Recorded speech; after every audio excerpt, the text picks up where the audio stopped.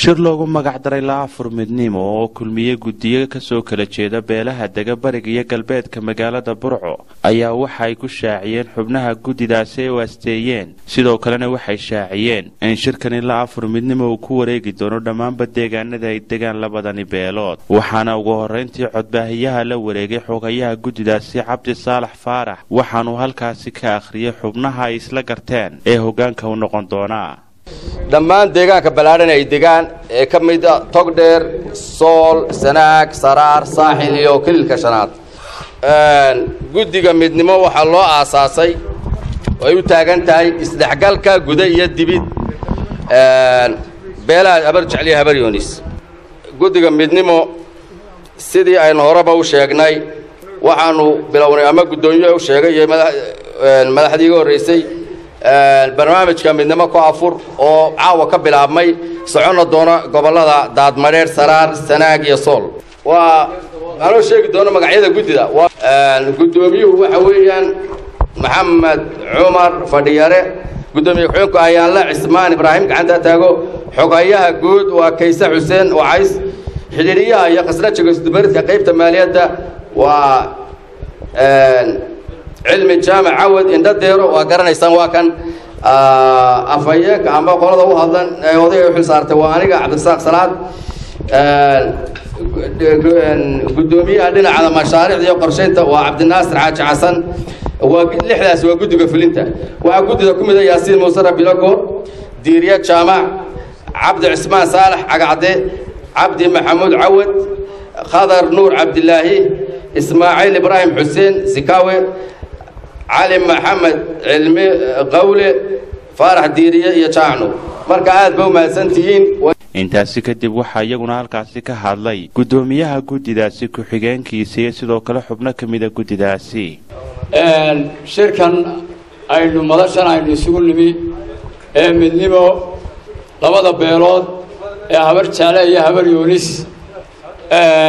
Midowgii gobolka togdheer shirar hore ayaynu hore u soo qabsannay kuwii unbaa soconaya oo iska soo dabadhacaya. Haddii ilaa idhaahdo shirkan caawa waxaynu ku daahfuraynaa midnimo ku afur.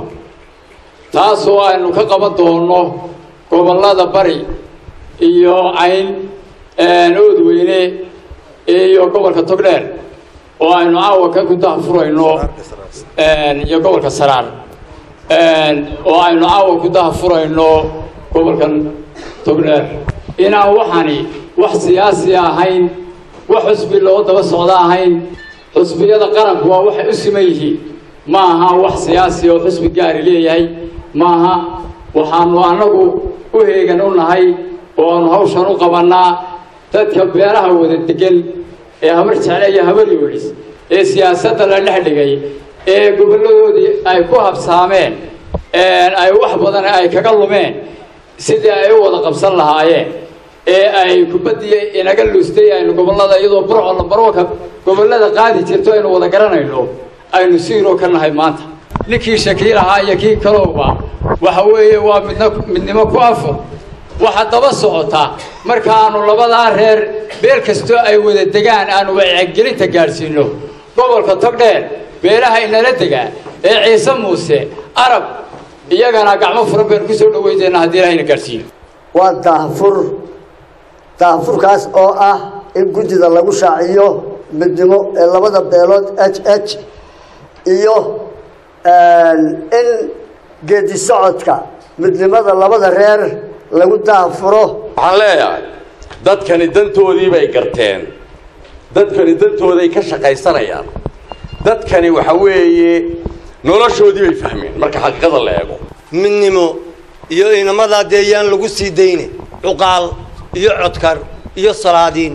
Waa in gacan bira lagu qabtaa ulka siduu u anfaco labada beelood iyo somalilanba waa in la taageeraa si dhab ah loo taageeraa wax lala qabtaa. Maxamed siciid gaxnug telefishinka caalamiga arten magaalada burco